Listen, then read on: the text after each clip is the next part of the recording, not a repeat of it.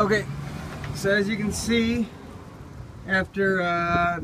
knocking on one of these rails a little bit with uh, a hammer, I was able to get this piece in. So I have that piece there, and then uh, right now it's being held up with a hitch, excuse me,